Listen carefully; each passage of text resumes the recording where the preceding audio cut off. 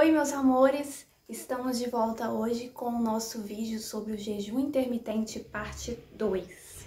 Mas antes da gente começar, vamos soltar aquela vinheta.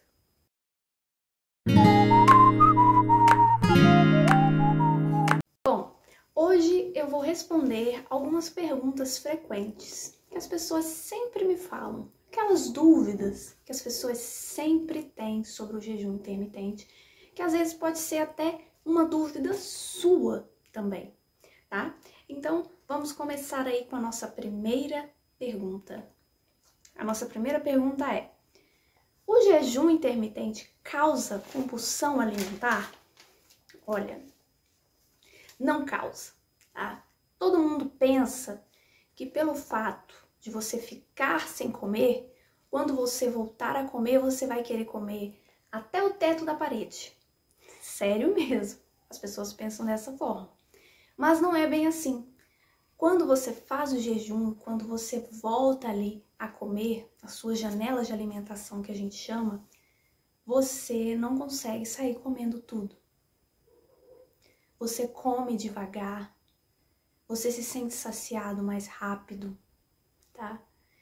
Não é aquela fome exagerada, aquela vontade desesperada de comer, como as pessoas pensam. Você come super tranquilo e se sente saciada, sem problema nenhum, tá? E tem estudos também falando que é super benéfico para pessoas que têm obesidade, porque nesses estudos que eles fizeram com as pessoas acima do peso, no caso em obesidade, essas pessoas relataram que houve uma melhora dessa compulsão alimentar, porque a maioria das pessoas que têm compulsão alimentar são pessoas em obesidade, mas isso não significa que outras pessoas também não possam ter. Pessoas em sobrepeso, até pessoas em peso normal podem ter assim seus momentos de compulsividade por algum alimento, por alguma coisa.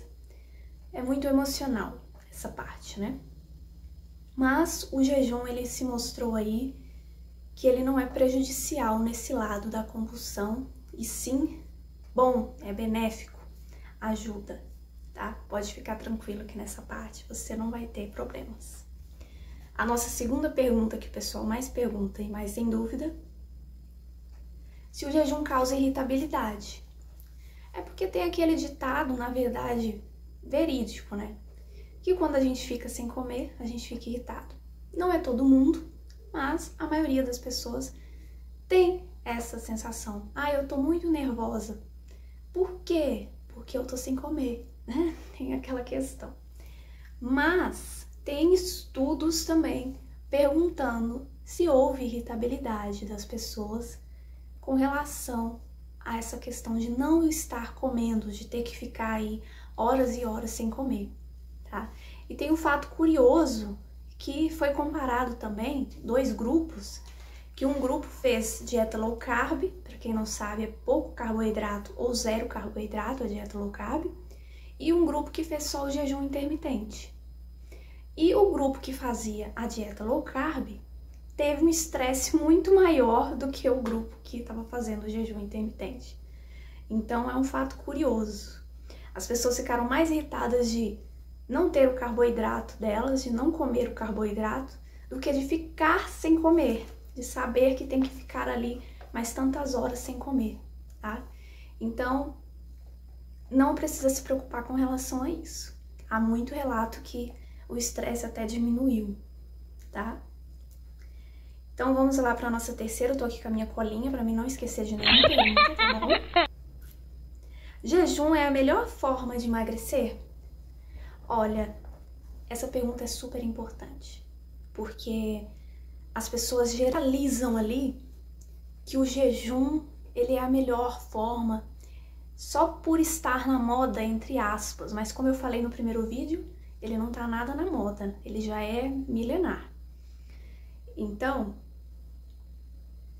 as pessoas acham que só ele pode resolver aqueles quilinhos a mais, que só ele vai te fazer emagrecer, mas eu vou ser bem sincera com vocês. O que emagrece mesmo é o déficit calórico e não algo isolado, tá? A relação do nosso jejum intermitente com o déficit calórico é que as pessoas elas conseguem ficar mais tempo ali sem comer, então o déficit calórico é maior pelo fato de não comer. Que para quem não sabe o que é o déficit, é você comer menos ali do que você gasta. E o jejum ele proporciona isso com mais facilidade, dá um déficit maior. Mas não quer dizer que uma dieta normal, em que você coma todas as refeições sem pular nenhuma todos os dias, não vá também te ajudar a emagrecer. Não acreditem que só o jejum intermitente vai te salvar e vai te ajudar a eliminar esses quilinhos a mais que você tanto quer eliminar. Se você não consegue fazer, não fique frustrada. Se você vê que não é fácil, que você não vai se adaptar, não fique triste. A gente não pode, nós como nutricionistas, não podemos obrigar as pessoas a fazer o que elas não se sentem à vontade para fazer. Porque existem outras formas. Tem como fazer uma dieta para você, para você comer normalmente e ainda estar em déficit calórico, tá? Então não precisa se preocupar com isso. Vamos lá para outra pergunta. Todo mundo pode fazer jejum? Olha, nem todo mundo.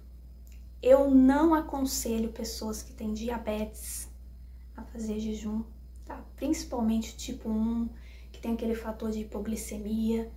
Eu acho que é muito ruim você fazer esse tipo de dieta, principalmente se você tem esse problema. E outra questão também, para quem tem muitos problemas gástricos. Por mais que fale assim, tome aquela aguinha com limão em jejum.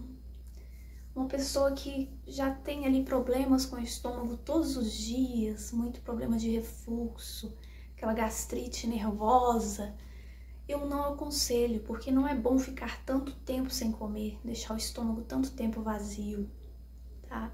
Pode piorar esse quadro ali de gastrite não é bom. E pessoas também que querem ganhar peso, né? Hipertrofia. Você pode até fazer o jejum ali pelo menos 16 horas por um período, mas quem quer ganhar peso precisa comer muito mais do que gasta, precisa gerar um superávit calórico.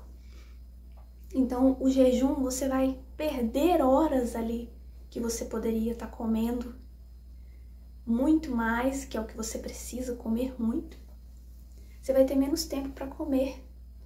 Então vai prejudicar essa hipertrofia, esse ganho de massa muscular que você tanto quer. Então não é uma estratégia boa para essas pessoas, tá? Então, recapitulando, pessoas com diabetes, pessoas com problemas gástricos ali frequentes e pessoas que querem ganhar peso, tá? Não aconselho. Outra questão, vamos lá, outra pergunta.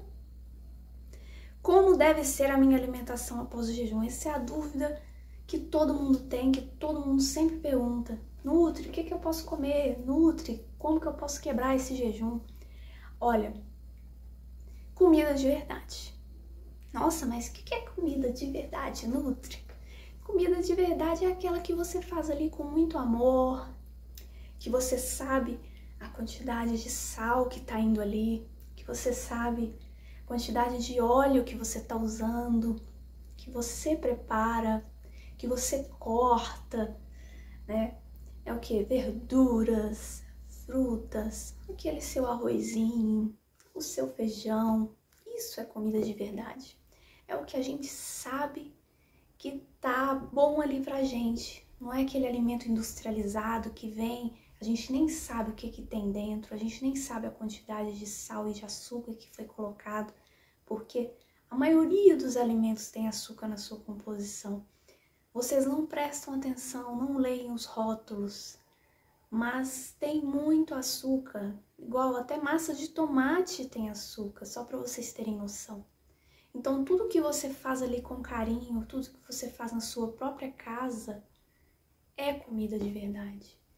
E não se apegue também àquele fato de que você precisa fazer dieta low carb, que você precisa fazer dieta cetogênica, porque você não vai conseguir levar isso para sua vida. Muitas pessoas não vão ter uma vida low carb para sempre, uma vida cetogênica para sempre. É, muitas das pessoas amam carboidrato, eu sou uma delas. Eu amo carboidrato, não consigo ficar sem os carboidratos. Então você pode sim comer arroz no seu jejum intermitente quando você volta a comer. Você pode comer feijão. Você só precisa tomar cuidado com as quantidades e reduzir as quantidades. Igual tem gente que tem que encher o prato de arroz até em cima e depois jogar mais três conchas de feijão, aquele prato de pedreiro, né? Então, reduza as quantidades, não saia excluindo tudo. E capricha nos vegetais, capricha nas verduras, coma frutas, no mínimo duas no dia.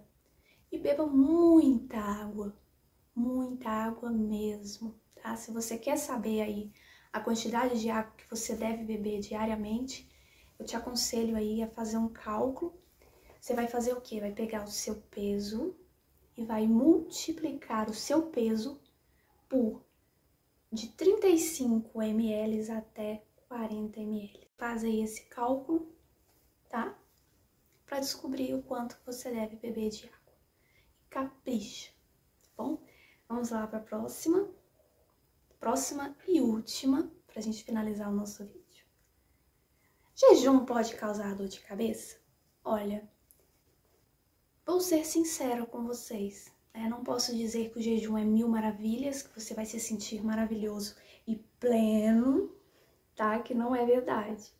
Igual se você é aquela pessoa que já levanta de manhã e ama fazer aquele café da manhã bem caprichado. Se você não fica sem comer de jeito nenhum, come ele sempre direitinho, capricha nos carbos do seu dia a dia. De repente, você parar de comer pode ser assustador para o seu corpo. Então, é normal que você sinta dor de cabeça, que é a mesma coisa que você está sendo ali cobrado. Opa, cadê aqueles carbos que você consumia diariamente? O corpo vai sentir falta. Mas é questão de se adaptar. E outra questão também é a desidratação. Se você começa um jejum intermitente e bebe ali um litro de água, que é o que a maioria das pessoas fazem, consumir ali um litro de água, gente, é muito pouco, tá? Você fica desidratado, então vai acabar dando mais dor de cabeça, tá? É normal sentir, mas não pode persistir todos os dias e mais de uma semana, tá bom? Fique atento a isso, espero que vocês tenham gostado das perguntas. Pode deixar mais perguntas também nos comentários, que eu posso depois unir essas perguntas e responder para vocês em um vídeo, tirando a dúvida, tá? Não se esqueçam também de curtir o vídeo para que mais pessoas possam tirar as dúvidas delas sobre o jejum intermitente. Se inscrevam no meu canal que vai ter muitos vídeos novos aí para vocês toda semana para ajudar vocês a emagrecer, que é o meu foco aqui no canal, tá bom? E ativem o sininho, que é quando chegar os vídeos, você já vai ser avisado que o vídeo novo tá lá e você não vai perder, vai ser um dos primeiros a ter as informações que eu vou passar para vocês, tá bom? Um beijo para vocês, fiquem com Deus e até a próxima!